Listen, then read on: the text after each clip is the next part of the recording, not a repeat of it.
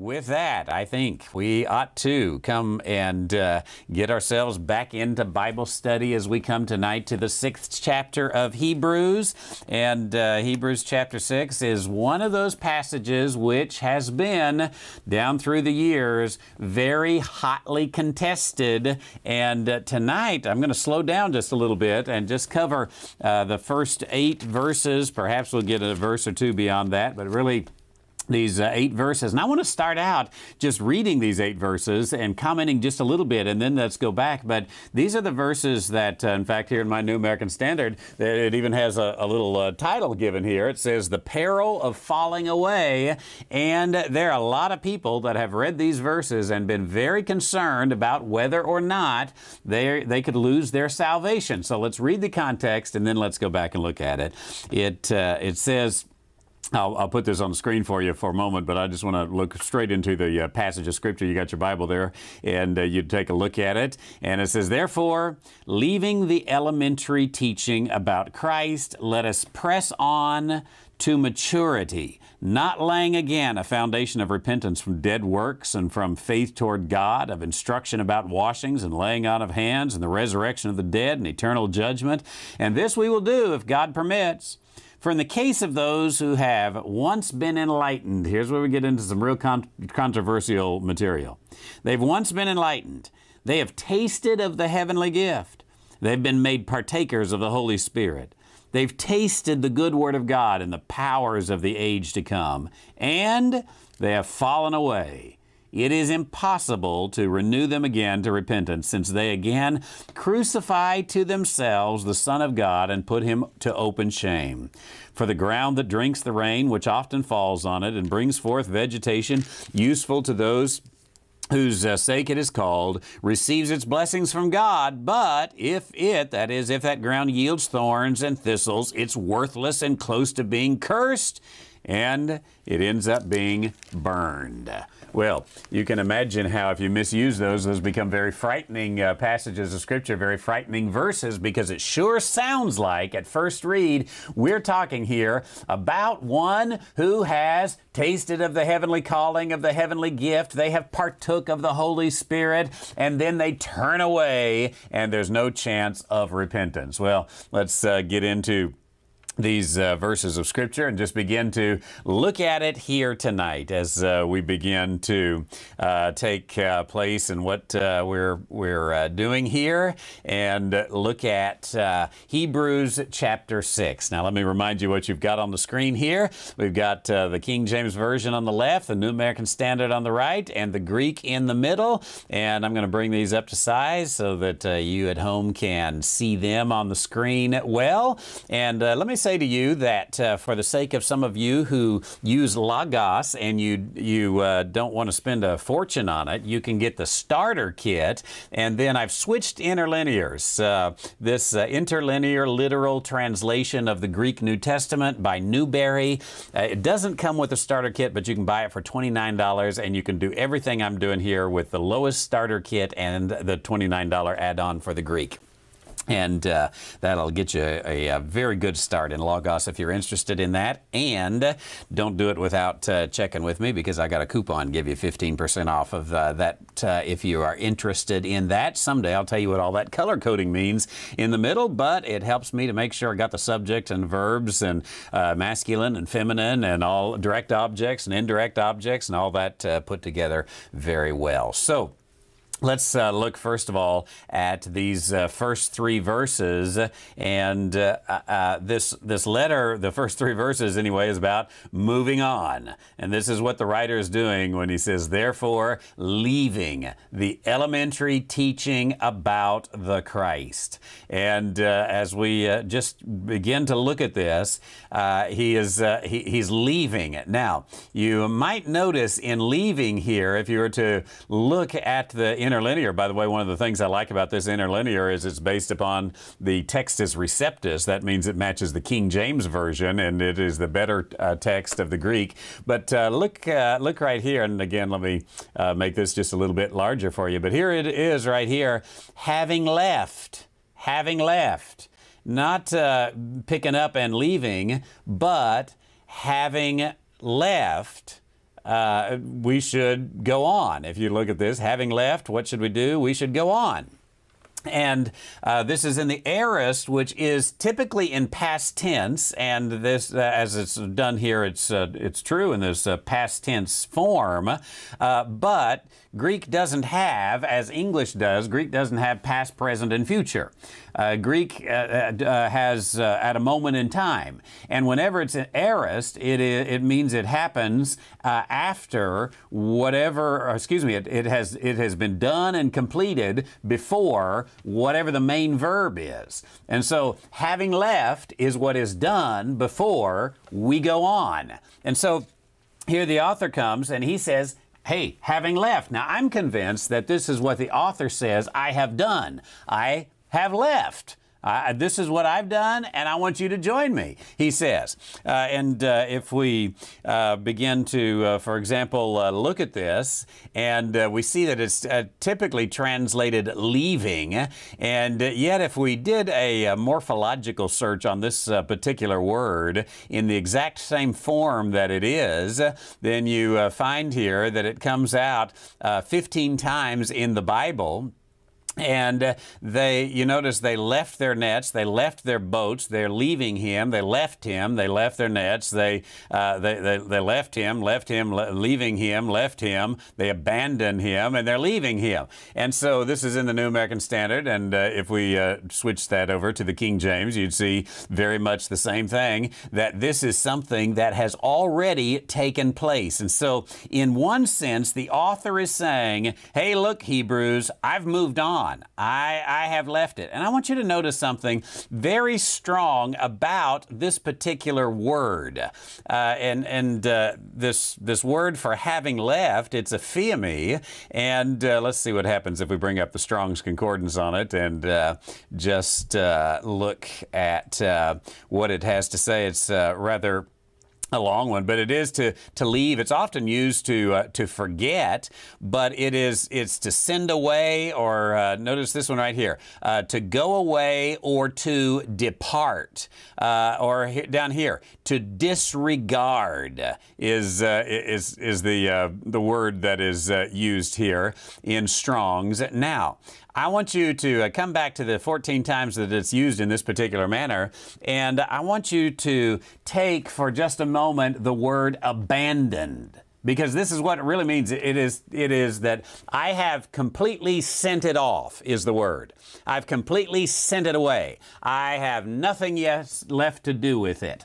And and you, you need to get this word. I'm convinced it's a very important word, this leaving. What does this mean, leaving? Uh, leaving the elementary teachings beside. And I want to propose to you, though it may be worry you here for just a moment till we finish it, I want to propose to you that leaving here literally means to abandon. He has abandoned what New American Standard then says are the elementary teachings of Christ, and what King James says are the principles of the doctrine of Christ. Now, if I come on and I tell you, I've abandoned the principles of the doctrine of Christ, you would say, wait a minute, I'm changing the channel. I'm getting on to something else. I'm finding me another Bible study teacher. If you have abandoned the elementary teachings of Jesus Christ, this is wrong. And yet that's exactly what this says uh, when it's incorrectly translated, as we're going to see here. We need to be careful and we need to get this word leaving. It means gone. Now, let me show you what I mean as we look at these uh, 14 times as we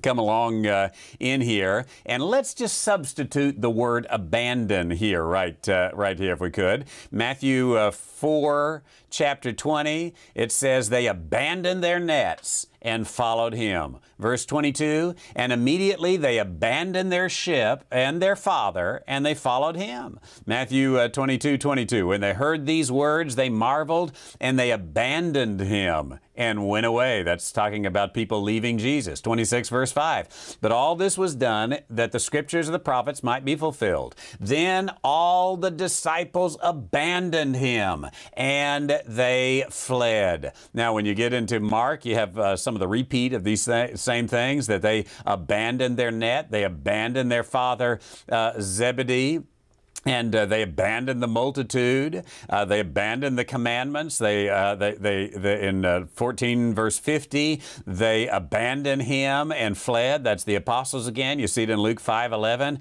Uh, the, the, the disciples, when they had uh, brought their ships to land, they abandoned all and they, they followed him. Or verse 10, chapter 10, verse, verse 30 where it says that Jesus, answering, uh, said, A certain man came down from Jericho and fell among thieves, which stripped him of his raiment, and wounding him, they abandoned him, leaving him half dead. Romans chapter 1, verse 27 is a verse about homosexuality, and it says, And likewise, the men abandoning the natural use of the woman, burned in their lust towards one another. And then we come to the last use of it in the New Testament in this format, Hebrews chapter 6, verse 1. Therefore, abandoning the principles of the doctrine of Christ. Do you see how strong this word is? The writer of the book of Hebrews is either encouraging them to do something heretical or we're reading it wrong. And I think you know which the answer is there. Can the writer of the book of Hebrews be encouraging them to do heresy? No, he can't. And so it uh, comes up here that again as you look look at it uh, here in the new american standard it says therefore abandoning totally departing from, as uh, we come over here, having left uh, the beginning of the Christ discourse, abandoning the elementary teachings of Christ. Uh, let let us uh, let us go on then, not laying again a foundation. Now, I do believe that what we have here is, uh, is, is, is, is, twofold. One, it's the author telling what he's done. I have abandoned certain things that I'm going to tell you about in just a moment. I've left them. I have forsook them. They are no more a part of my life or doctrine than, than, uh, than is, uh, you know, the man in the moon, whatever it may be. I am done with those things. I've moved on. And then he says, hey, you should do it with me. We should all go on this journey. We should all get away from these things. It's time for all of us to move on to some some some uh, some some different things. In fact, uh, I uh, I put on the outline there that uh, we should uh, go on to some deeper subjects. I'd uh, cross that out. Uh, how's this? I'll just take my pen right uh, here and cross it out. We should go on to deeper subjects. Actually, it's not deeper subjects they're going on to. Uh, they're going on actually to a, a different set of doctrine. To, they're going on to something different indeed. And so they he comes together and he says, "Hey, we're going to abandon." Now, let's uh, come back and look into the scripture that we have, and I want you first of all to notice here in the Greek just a very literal translation where it says, "Wherefore, having left thee." Uh, of the beginning of the Christ discourse. Now, that's not good English, it's great Greek. Having left the of the beginning of the Christ discourse. You may notice in the Newberry Interlinear, it's got some little numbers here two, three, four, five, six, seven, one. And that helps the English reader to put that in order. So, having left the discourse, number one, of the beginning of the Christ. This is what he's left the, the, the speech, the word, the discourse of the beginning of the Christ, that is, the Christ is of the Messiah, to the full growth, we should go on, not again laying a foundation. Let me go here to the Young's literal translation, which often uh, helps uh, translate the Greek very well. And he says, Wherefore, having left the word of the beginning of Christ unto perfection, we may advance. So here we are. Having left the word of the beginning of Christ. You see this. Having left the, the, the, the word, the discourse of the beginning of Christ, Young's literal translation. Now, as uh, we come to that, look what King James has done with this. Therefore, leaving the principles of the doctrine of Christ. Now, I just have to say, I default to the King James Version, but I have to say they got it wrong here. Who would leave the, the principles of the doctrine of Christ? Uh, would you encourage anyone to do that? If you or me, I'm the pastor, I'm the teacher, and does it come to a point where I say, now, I want you to leave the principles of the doctrine of Christ? How could you do that? That's foundational, the principles of the doctrine of Christ. You've got to have that. You've got to be there. And uh, what has happened here is that uh, that honestly they've just made a, made a bad translation. In fact, uh, if we uh, can, let's uh, jump up a few verses uh, to chapter five, verse twelve, and here uh, you notice uh, it says, I'm going to jump back over here to the uh, New American Standard, uh, and it says, For though by this time you ought to be teachers, you have need again for someone to teach you the, ele- the elementary principles of the oracles of God. Or in uh, King James, the first principles of the oracles of God. Now, uh, this uh, particular word uh, principles here, uh, the, the, the, principles of the oracles of God. That uh, word uh, principles is, um, is right over here in the Greek. It's elements. The elements, and you, you see it right here, stoicheia. And just take that. That's principles. That's elements. Now, those elements are, that's a word that, that meant the basic principles or elements of uh, of anything uh, of, of, of life. In fact, uh, we can take a, a, quick look. I believe it's Galatians chapter four, verse nine, and uh, we see that again when it says, uh, "After you have known God, or rather known God, how turn ye again to the weak and beggarly elements. Now, you notice right here, there's that same word, stoicheia, elements. Uh, so, to uh, get back to verse 12, uh, the first elements. Now, in fact, I want you to look uh, over here again into uh, the Greek and uh, let, uh, let, me find where we are here. here we are. the, the elements of the beginning, the elements of the arche.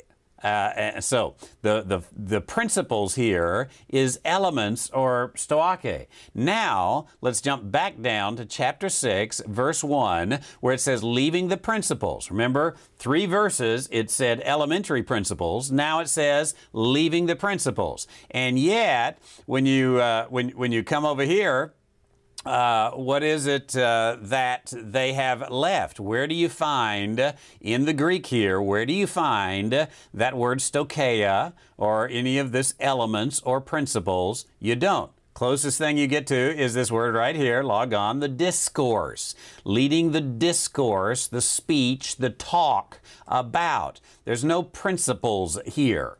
Uh, and it says, leading the principles of the doctrine of Christ. And uh, in fact, uh, let's uh, just uh, pull the uh, the Greek right up here and uh, see how they've come. They've taken uh, the word uh, arches here, the beginning. Leaving the beginning, they've made that the principles, and the doctrine they got from uh, logos, logon. Uh, let's just uh, happen to see what they do in other places uh, with this particular word.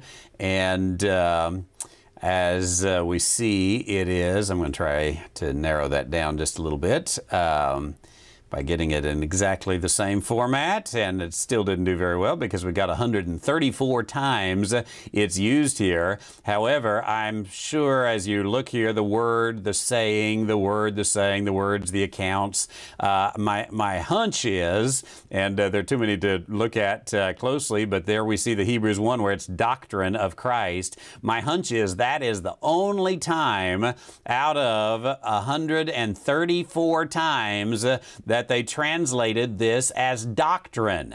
Now, the problem is it's not doctrine. You don't leave any doctrine. All doctrine is essential to you. And You've got to have that. Now, it doesn't help in the New American Standard, leaving the elementary teaching of about the Christ. Why would you want to leave? Remember, the word is abandon. Why would you want to abandon the elementary teaching of Christ? Now, again, we reinterpret this to say, well, he just means to go deeper. But that's not what this, I mean, you can't get that from the grammar. That's an interpretation, which I'm convinced is a bad interpretation as you go along with it. A uh, few other uh, uh, things that uh, we might uh, look at. Almost, uh, there are a number of these. The New American Standard, I put these on your outline. New American Standard, New King James, uh, the Holman Christian Standard, the English Standard, the NIV, all go with some some form of the elementary teaching about Christ. In fact, uh, even the New King James didn't go with where the King James had gone,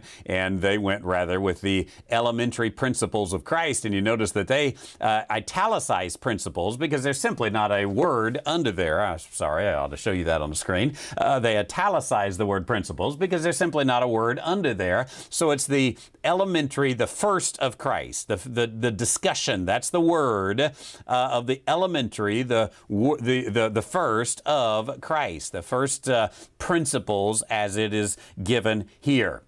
Now, if you have your outline, uh, if you've downloaded one of those, uh, uh, the today's English version, Good News Bible, uh, is uh, a, a, pretty poor one. It says, "Leaving behind the first lessons of the Christian message." That makes the same error as the King James version. Why would you want to leave it behind? In fact, isn't it the first message that you ought to hang on to? The, I mean, the Christian message, the gospel of Paul, is Whosoever will may come. It is by grace that you're saved, not of works. Don't ever leave that. Don't ever abandon that. If you do, you're going to build on it something dangerous. So, this is why it's so important to get the translation right. And to get the translation right, you can't just swallow say, hey, that's what it says, that's what I'm going to take. No, be go beyond. Be a good student. Study a little bit. I I uh, said it Sunday in my sermon here at the church, you know, in the in the founding days of our country, you could not get a college degree of any sort, of anything, without becoming uh, uh, uh, proficient in Greek and Hebrew because those early religious forefathers didn't have a secular education. Everything was a sacred education, and they believed this was the truth. The truth will set you free. And if you're going to know this word, the truth, you're going to have to know Greek and Hebrew. So I really want to uh, encourage you in that regard of learning your Greek and Hebrew. And uh, you can you can do that uh, with so many easy tools right here. I mean, uh, for $250, you can buy Logos and have it right there. And and go a little deeper, study to show thyself approved. Now, someday we might uh, stand before God and say, Well, I thought we were supposed to leave those elementary principles, not deal with that anymore. And he'd say, Where'd you get that? Well, I read it in the English version. And he'd say, Well, uh, why didn't you dig a little study and study a little more and find out what that means? Why in the world did you abandon the basic principle doctrines of Jesus Christ? That's uh, this is a very dangerous thing. Now, the message goes ridiculously artsy on this. Here's what the message has to say Let's leave the preschool finger painting exercise on Christ and get to a grand work of art. I, I, I, just think that is so ridiculous. I get uh, so upset with the message every time I read it, and uh, mainly because it is just ridiculous, is what it is. And uh, you see why I only took eight verses tonight, because we've gone uh, halfway uh, into our Bible study time, not quite, and I've, I've uh, looked at less than one sentence here as we come along. So, the writer says, I am leaving. I'm leaving the elementary teaching about Christ. Now, what is this elementary teaching? I, don't like the word elementary here because uh, as you go, it's just the beginning teaching. Now, the thing you learn right at the beginning, okay, in a sense, is that elementary or is it foundational? It's the beginning of the work of the Christ, or the, the word, excuse me, of the Christ. Now, remember, Christ is just uh, a Greek for Messiah. So he says, I've abandoned the beginning discourse, or, or the, the discourse of the beginning of the Messiah. I've left that beside. And where I want to go now is to the to the full growth to the completion. This is where we ought to go. You ought to go with me. Not again laying these kinds of foundations. So literally he says i want to go on to perfection or i want to go on to the full growth as we go along as we make the uh, progress here. And uh, I, I, uh, I, want to, uh, uh, to, to press on toward maturity. Now, uh, to uh, to to, uh, to to go on to the full growth. Let us let us press on to uh, maturity, leaving the elementary things about Christ. Let us uh, press on to maturity. The word uh, press on right here uh, as uh, as you see it, is a and it's right here in the green uh, here. It is a passive verb. Now, uh, do you remember what passive means? Passive. Uh, means that it, it is it's happening to you not that you're the one working it by your blood sweat and tears but it's happening to you and so as you uh, as you begin to look at that, as a matter of fact, we could uh, take it again, and I believe, let's see here, uh, that uh, we can. Well, no, I can't. Uh, that's the only time it's used. I was going to uh, try to make some comparisons there.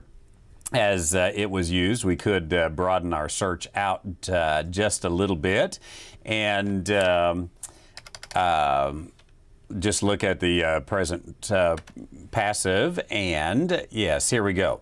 Um, it is, uh, for example, First uh, Peter chapter one, verse three, where it says um, that uh, you should fix your hope completely on the grace to be brought to you at the revelation of Jesus Christ. Or in 1 Peter 1:21, there were men who were moved by the Holy Spirit. Now that's passive. You see that it is brought to you. These men are moved. The men aren't doing the moving, but they are uh, it is uh, being brought to them. So, literally, this really, again, is more in a, a, passive sense as it comes along, and it is to, hey, uh, to uh, to having having left the beginning teaching about the Messiah. Let, us uh, uh, I tell you what, let's be carried on. Let's be taken on to maturity, not laying again a foundation. Now, the things he's about to talk about are the things then that were foundational but things which he has he's not going to lay again he's not going to bring those aside. So let's begin to look and see what it is that he is going to abandon and we'll find it's not the the uh, principles of the doctrine of Christ. So here we go uh, here's what he's leaving behind here. Uh, not laying again a foundation of repentance from dead works. Now, all of this ties into having left. Having left, let's go on. But having left, what? Having left a foundation of repentance from dead works. Now, isn't that Paul's message? I mean, uh, you can you can repent all day long, my friend, uh, but uh, repent of good things, repent of bad things, whatever it is you repent of. That was a part of the law. It was something that had to be done.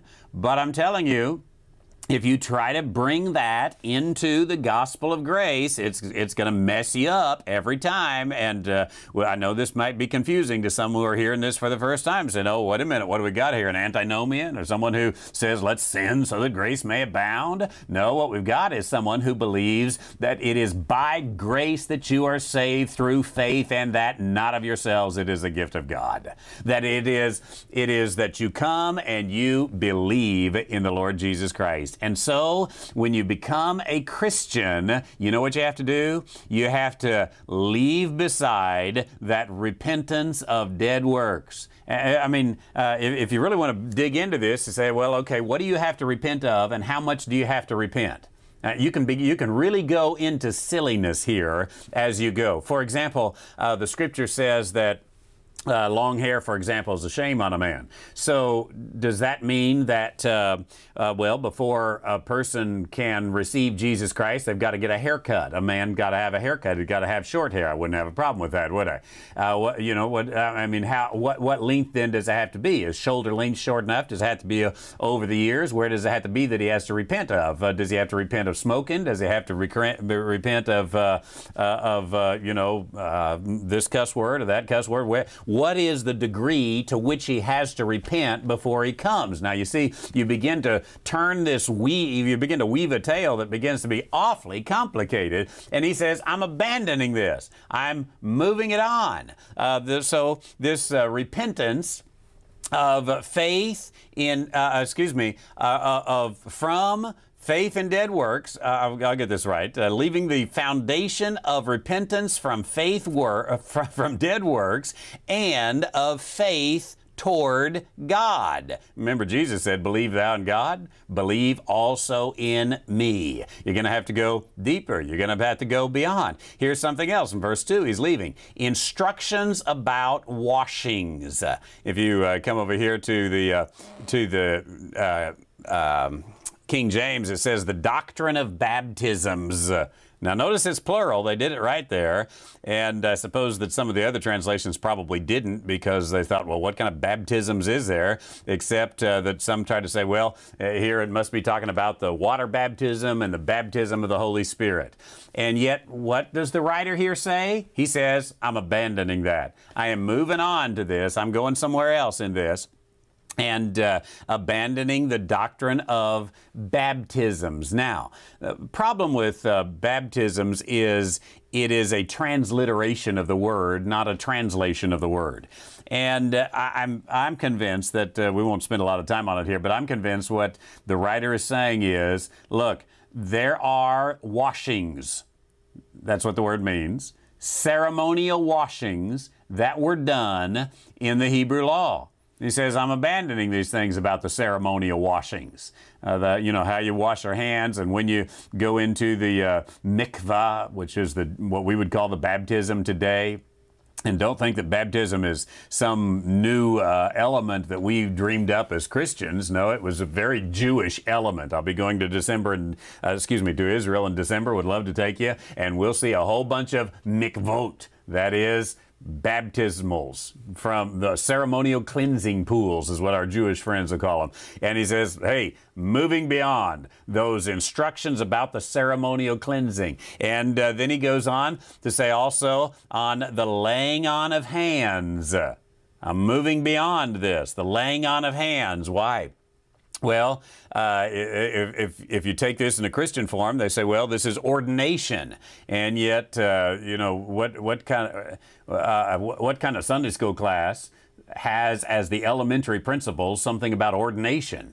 Uh, be very rare, wouldn't it? The laying on of hands, I think, is probably talking about, uh, even for example, when the priest and we were in the context of a high priest here in chapter 5, when the priest takes those hands and he lays them down upon the sacrifice, uh, uh, uh, in, in a sense, uh, identifying himself and the people with that sacrifice, transferring, if you will, himself into that, and saying, This sacrifice is representing my sins or our sins. He says, I am abandoning this. Furthermore, uh, the resurrection of dead and eternal judgment. Now, these things are all taught in the Hebrew Scriptures. There's nothing here that you can't get from the Old Testament. You can the the uh, the the basis of the resurrection of the dead comes from Isaiah and Daniel, for example, and eternal judgment the same way. It's all in the Old Testament. You remember there was a debate between the Pharisees and the Sadducees. Why? Because the Pharisees uh, believed in the resurrection and the Sadducees didn't believe in the resurrection, thus, that very old preacher joke, that's why they're sad, you see.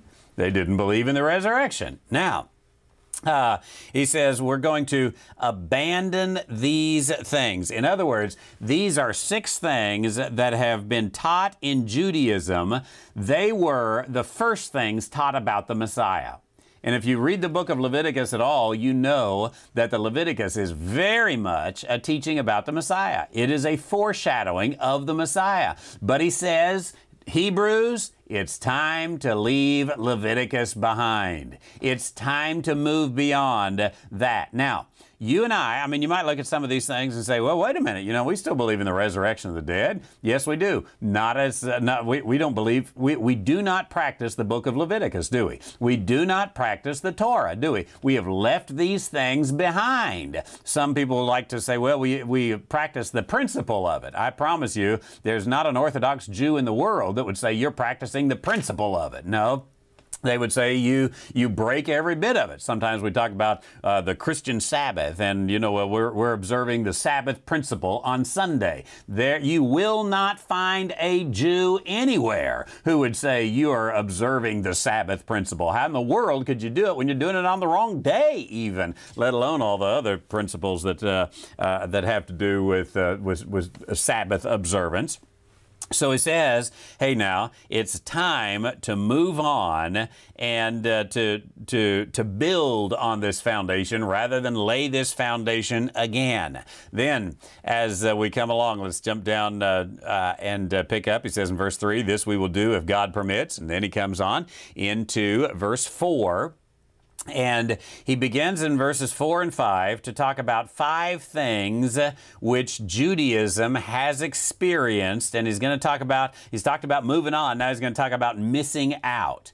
Now, uh, in the case, verse 4, in the case of those who have once been enlightened, uh, as uh, as we, we think about this, uh, the case of those who have once uh, been enlightened, uh, I, I, want you to, to, to, stop and consider just a moment who he's talking about here.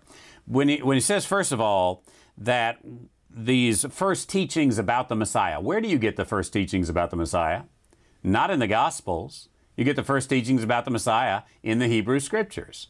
And he's tr- trying to get the Hebrew people to come and accept Jesus Christ as their Messiah, as the nation, so that the nation will not be destroyed, so that the times of refreshing may come, or that uh, period of rest, and to press on towards maturity. And then in verse 3, this we will do. That is, we will press on to maturity is uh, the word that is given here. Now, uh, looking at verse 4 again, in the case of those who have once been enlightened. I want to ask you a question here.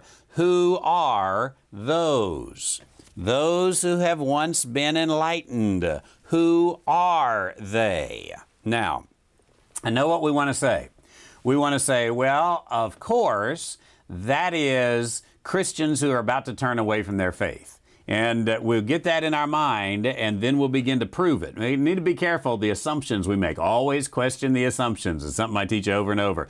So, who are those who have once been enlightened and tasted of the heavenly gift and these things that we will look after? Now, I am convinced that it is not you, and it is not the direct recipients of the book of Hebrews. Let me explain something so you don't misunderstand here.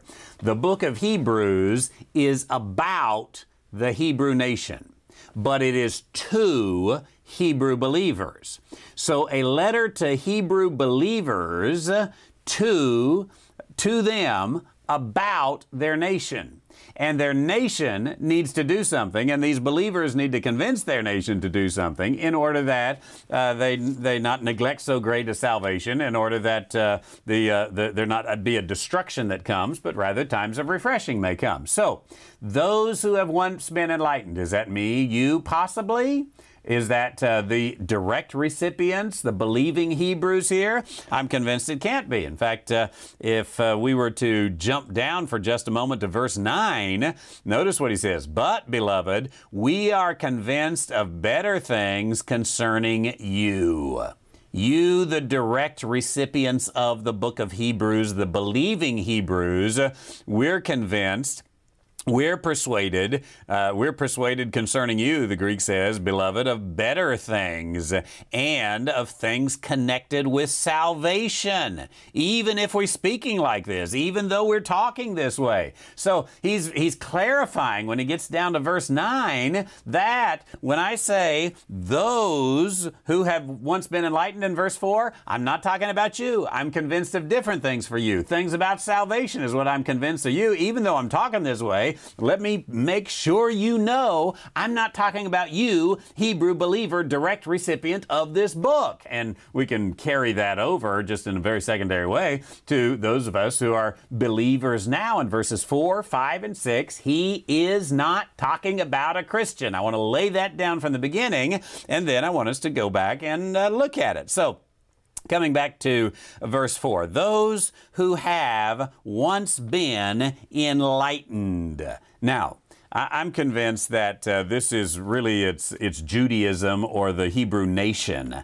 The Hebrew nation had once been enlightened. In as a matter of fact, uh, do you uh, do, do you remember? And we'll just uh, look at it uh, quickly here. Do you remember what Hebrews chapter 1, verse 1 says? That God, after He spoke long ago to the fathers and the prophets in many portions and in many ways, in these last days has spoken to us in His Son. Now, who did He spoke to? God spoke long ago to the fathers in the prophets, in many portions, in many ways. In the last days, he's spoken to us, that is, the descendants of the fathers. And he did it to his son. Now, doesn't that sound like there was a uh, a uh, an enlightenment that came to the to the nation?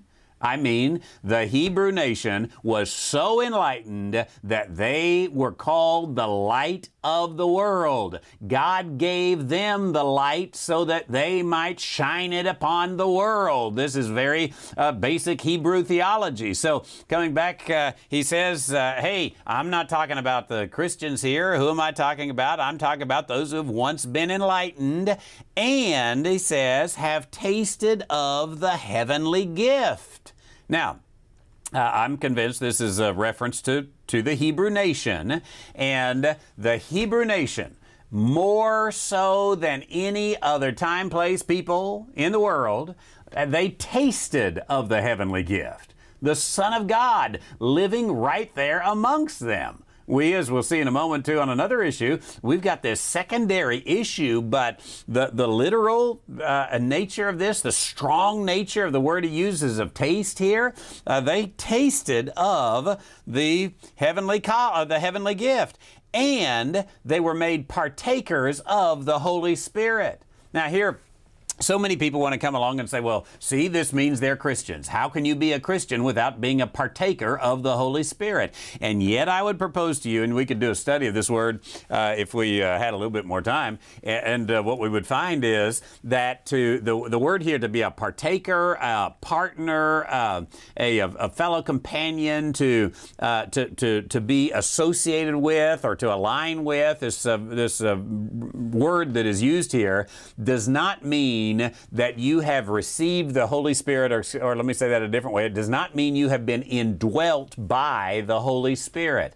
But remember the day of Pentecost the Holy Spirit came down upon Jerusalem and the nation of Israel. Uh, uh, if we were to uh, look at that uh, particular day and we were to go to uh, Acts uh, chapter 2, verse 6, for example as uh, it was said, when this sound occurred, this is the Holy Spirit coming, the crowd came together and were bewildered. Now, this is the crowd of Jerusalem, it's not just the 120. The crowd came together and were bewildered because each of them was hearing them speak in his own language. They, that is, the crowd, the citizens of Jerusalem, they were amazed and astonished. Aren't these all men Galileans? How is it we hear them speak in our own language. And it goes on uh, to speak about that. Now, you see what is uh, being said here is the nation was a partaker of the Holy Spirit. And then he uh, goes on to the, the next thing not only uh, enlightened, tasted the heavenly gift, partakers of the Holy Spirit, but have tasted the good word of God. Indeed, they had. In fact, the oracles of God belong to whom? In Romans chapter 9, uh, it, it, I believe it's Romans chapter 9, it says that the oracles of God belong to Israel. They tasted the good word of God and the powers of the age to come. Now, they tasted of the powers of the age to come. You can do a word search and look at it, and you'll find that the age to come is the messianic age. It is the millennium. And what nation on this earth, what people on this earth had a, a, an experience, a real experience. I'm not talking about something in their heart. I mean they had the real live before their eyes living technicolor experience of the the powers of the age to come. the Holy Spirit came down, and boom, there was before their eyes one display after another of the powers of the age to come. And when you study the book of Acts very carefully, as we've been doing, uh, here in our church, you begin to see, hey, that is very clearly the these these things, these issues of the things to come. Now, take those uh, five things there: the the once having been enlightened and tasting of the heavenly gift, and made partakers of the Holy Spirit, and tasted of the good word of God, and tasted of the age of the power of the age to come. Can these things be claimed of Christianity? Well, on one sense, you can stretch at least five out of six of them to say, well, you can claim you, you can claim those. Have Christians uh, been enlightened? Well, uh, uh, you know, in in that sense, uh, Jesus is the light of the world now. He's come; His light has shone upon us and all men. Uh, John chapter one verse uh, chapter one says. So you could take that. Have we tasted of the heavenly gift? Not like Israel did, not like the Magi did, not like those who actually saw him, but and you could spiritualize it, take it in a secondary sense. Have we been made partakers of the Holy Spirit? Again, it's a very different way. We, we, we have the indwelling of the Holy Spirit, which is not what it says here, but uh, you know, we can take that and say, okay, we're a partaker of the Holy Spirit. Uh, to taste the good word of God, well, yeah, I, I think we can see that. And to taste of the power of the ages to come, that's one we have not experienced. Now, I'm a cessationist, and we can get into that some other day, but I don't think that we have tasted of the powers of the age to come. And that's not been our experience. So, uh, uh, the, the, this uh, is, is uh, I don't think, speaking of the Christian. Furthermore, when you look at that list of five things, where does it talk about justification by faith? Where does it talk about justification at all? Where does it talk about a salvation experience that is uh, given there? Now, what do I think these verses are? I think they're a description of the Hebrew nation, the unsaved Hebrew nation. And because of this, no other people in time has less of an excuse not to have accepted Jesus Christ as the anointed one as did that generation of Israel. You can you, you, can say whatever you want romans chapter 1 verse 2 and chapter 1 uh, and, and 2 about the gentiles and that they're without excuse. But i'm telling you if the gentiles are without excuse because they see the fingerprint of god in creation and they ought to uh, follow that uh, you know to, to whom much is given much is required. And the, the jewish nation the hebrew nation that generation the hebrew nation had absolutely no excuse. And so this is what the writer of, of, of uh, Hebrews is getting, uh, is coming at. And he's saying, hey, directly to you Hebrew believers, I'm not talking about you. I've got a different uh, word concerning you, he says in verse 9, and it's about salvation. But your nation, here's your nation. Your nation was once enlightened. It tasted of the heavenly gift. It became a partaker of the Holy Spirit on the day of Pentecost. It tasted the good word of God. It has tested, uh, or excuse me, tasted the power of the ages to come. It has no excuse. So, coming along then in verse 6, and having fallen away, and having fallen away. Let's uh, pull over here to uh, the Greek and let you see uh, this. And uh, it says, Newberry says, and who fell away, in, in, inserting uh, or implying the, the, the, the word who here. They fell away again, who fell away again uh, to renew to repentance. This would be impossible. So, uh, as, as we look at this, now, uh, New American Standard inserted the word then, and uh, uh, King James, though they didn't italicize it, inserted the word if. Notice when you come over here, there's no if. There's no uh, subjunctive verb here. Uh, all of these are, uh, are, are active participles, not subjunctive. And so there's no if it's just that's an interpretation. There's no then, that's an interpretation.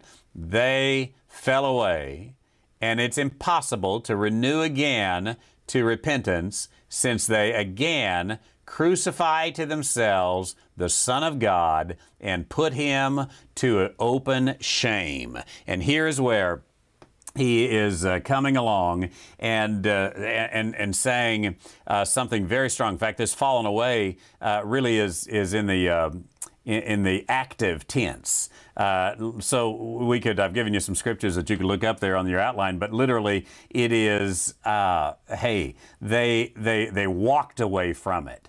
They actively chose to, to, to renege, to be gone from it and so, having rejected with all they have, having rejected the gospel, having rejected the Messiah, what are we going to do then? Now, let me give you a little bit of example here. It says it's impossible to renew them again unto repentance. In, in the days of the Hebrew law, if you accidentally killed someone, you inadvertently killed someone, you remember what you did? You ran to the city of refuge. And there you put your hands on the altar until the, the, uh, the, the priest could come, the Levite could come, and he could declare you safe in that city of refuge. And you remained there until the high priest died, and then you were free to go. But which means you hope that you didn't accidentally kill someone with a young high priest. But nonetheless, as uh, it, is, it is carried out there, the Lord uh, comes, and when when he is being crucified, you remember what he says? Father, forgive them, for they know not what they do. There's a city of refuge for them.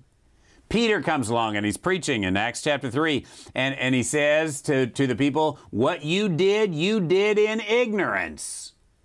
You, you, you didn't know, you didn't understand it. And, and uh, I'm just going to go with the fact that Peter and our Lord are right on this. The people simply did not understand they were putting the Messiah to death. And, and uh, yet now there's a problem because now the Holy Spirit has come. They partook of the Holy Spirit. And they've tasted the Word of God as it's given through the mouth of Peter, who says, You did this in ignorance. Now they've got the full story. Now they see that Jesus is risen from the dead. They've seen this resurrection from the dead. They've got all this. They've got uh, everything that is given. In fact, they've even been given some samples of the age to come, the power of the age to come. Now, if you reject that, there is nobody, nobody, nobody who can say it was done out of ignorance. And so, for this nation, he says, what is there that can be done?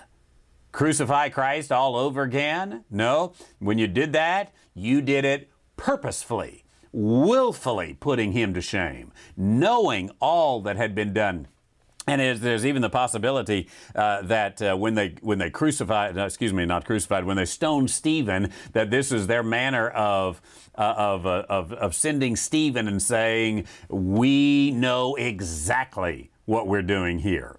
And just like we put Christ to death, we'd put Christ's followers to death. This is where we stand. We do not want Jesus to be our king. We do not want Jesus to be our Messiah. He says there's no hope for that kind of nation. And Thus, uh, it comes here in this uh, really very uh, difficult uh, conclusion that we have in verses 7 and 8 when he says, For the ground that drinks the rain, which often falls on it, and brings forth vegetation useful for those uh, for whose sake it is also tilled, receives a blessing from God. But if it yields thorns and thistles, it is worthless, close to being cursed, and it ends up being burned. Now, isn't that interesting? He says the land is close to being cursed. And this, he's talking about the nation. Uh, he's saying, hey, Hebrew believers, let me tell you where your nation is. They really need to come around because time is about up. Because once they're cast out into the world, there's no hope for bringing the, the, the, Messiah in. There's no hope for the Messianic age. There's no hope for the kingdom. They are gone into destruction. That particular generation, that nation, it'll be gone. It'll be a new nation born in a day that'll come back at the end of time, according to uh, Scripture. And so they are going to be sunk. They are like a land that the rain falls on it, but it doesn't bring forth a blessing. It brings thorns and thistles. This is the land of Israel he's talking about. And he says, it is close to being cursed. This is his desperate. Remember in, uh, I believe it was chapter 3, verse uh, 1, where he says, uh, oh, excuse me, it might have been uh, chapter 4. Yes, chapter 4, verse 1. Uh, Let us fear if while a promise remains of entering his rest, any of you should fall short of it. Says, man, we're, we're so close. That is, the nation is so close to being cursed. And it ends up being burned. Do you remember what the Romans did in AD 70? They burned it. And the proverb went out What happened to this land? This land is a curse, just as the Old Testament had promised would happen if they rejected their Messiah, and indeed they did. And it ends up being burned. Now, when you burn land, what, what happens to it? Does it destroy the land? No, not at all. It cleans it off, doesn't it? And eventually, what happens? Another crop grows a green crop, a valuable crop, a good crop. The thorns and the thistles have been destroyed. Now we can start over again on that land. Well, with that, uh, we're going to stop right there for tonight, uh, looking at these uh, eight verses. And how about that? Our time's up anyway. And uh, I do want to answer your questions here in just a moment, and you can put the questions in on the chat box there. If you're on Meeting Burner, use the Ask a Question button. If you're on Blog Talk, use the chat box that you've got on the bottom of your screen. And uh, if you uh, want to tweet it in, at Pastor White, twitter.com slash uh, Pastor White or at Pastor White is uh, where you can send those questions, and I'd be happy to take it. Uh, just a, a, few words. Sorry, I haven't written much for you on the website. We've been doing a lot of other stuff here lately, but this week, weekend, uh, there is uh, a, a, a broadcast coming up that'll come up uh, late Friday night or early Saturday morning and it's about uh, demon possession. So watch the website this weekend. Ask the theologian. It's, it'll be in video format or in audio format. And those of you who listen to it on the radio about demon possession, and then the one following that will be about uh, exorcism. So we're going to have de- demon possession, plain and simple, and exorcism, plain and simple. I hope you'll uh, check that out and uh, pass that on to those who might be interested in that. We do still have some room for you to go to Israel December 7th through the 16th. Would love to talk to you about that. Randy at Randy White Ministries ministries.org. And as always, thank you for those of you who are our Club 8 and Club 360 members. You bought uh, the equipment that we got right here and the radio time and all that uh, we do on the internet, and I so much appreciate that.